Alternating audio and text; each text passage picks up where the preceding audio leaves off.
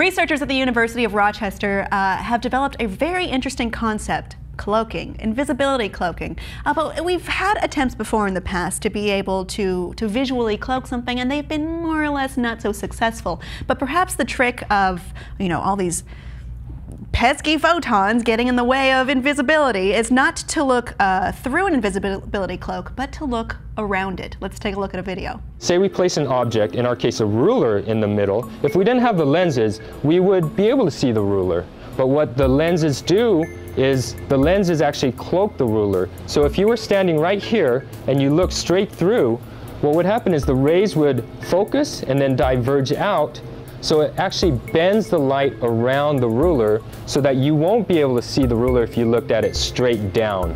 So we have slightly more complicated designs where an object can be cloaked entirely, but we've tried to simplify our design and what we have is where the light goes through the center of the design so that cannot be blocked. So the cloaking region is actually a ring-shaped area on the outside rather than the center.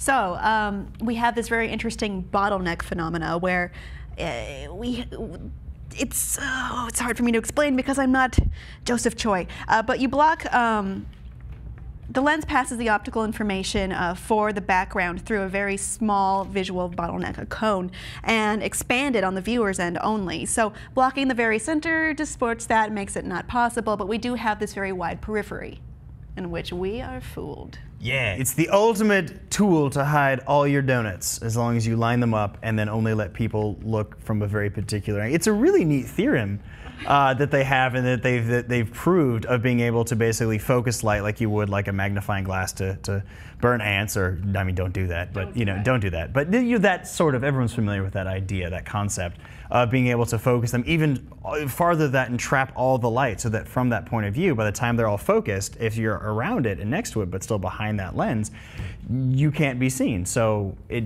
I know that he talked about uh, that they're able to do that on a much to any scale mm -hmm. any scale large enough that uh, that they can as long as you can make the lens that big then they sure. can make the field that big but how do you, how is that, I don't know how applicable that is until they work, can figure well, out that center part. This is still research, I suppose. You know, it's, it it's very promising research. and this is the first uh, device that we're aware of that we, um, that can do three-dimensional, continuous, multi-directional cloaking as opposed to, you know, let's camouflage it or, you know. Or just protect it from radar like all of our, like, yeah, like stealth bombers and stuff like, like that, yeah. bending the rays of light so that, or, you know, because we, we see things by, like, looking at the light bouncing off of it.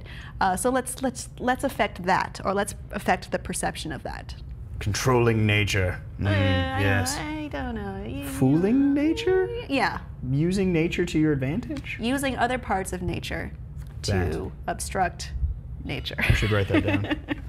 um, so this isn't quite a Klingon warship or Harry Potter's Invisibility Cloak, but it's very interesting, and it, it reacts in a way that you would probably not uh, think of right off the bat in terms of cloaking or obscuring and of course, we could apply the research further in the future to perhaps more high scale things. It's very promising. Let us know what you think of all this below in the comments, and please be sure to subscribe.